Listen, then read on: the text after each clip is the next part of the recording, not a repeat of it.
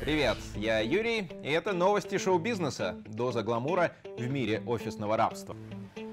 В Лос-Анджелесе раздали награды MTV. Лучшим фильмом года был признан «Голодные игры» и «Вспыхнет пламя». Дженнифер Лоуренс получила награду как лучшая актриса, а Джона Хилл за лучшую комедийную роль в фильме «Волк с Уолл-стрит».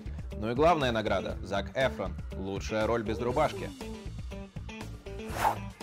Орландо Блум, более известный широкой публике как Эльф Леголас, отправился в Сирию с серьезной миссией – посетить лагерь беженцев. Легконогий эльф по совместительству является послом доброй воли ООН. Мы-то всегда знали, что он стоит на светлой стороне силы. Очередное явление в бесконечной череде мальчиковых групп. Вокально-инструментальный ансамбль The Vamps отыграл для благодарной девичьей публики в лондонском центре Уэстфилд. Четверо парней познакомились через YouTube несколько лет назад, и с тех пор дела у них идут неплохо. Сейчас их сингл на второй строчке в британском чарте.